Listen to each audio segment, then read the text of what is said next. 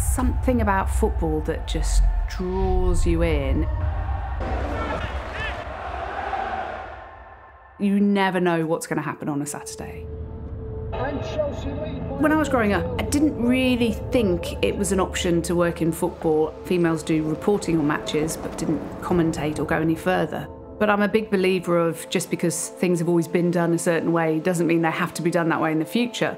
I looked different, I sounded different, but I didn't think that should be a barrier.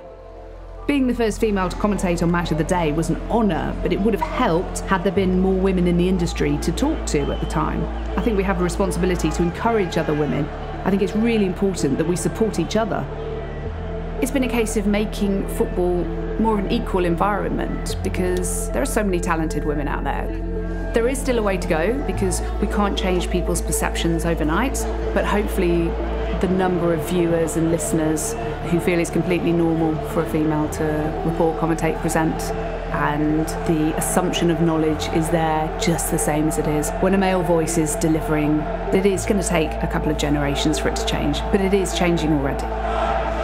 Kickoff is just moments away. Will Crystal Palace finally score at home? They've no goals or victories here yet this season, and today they're up against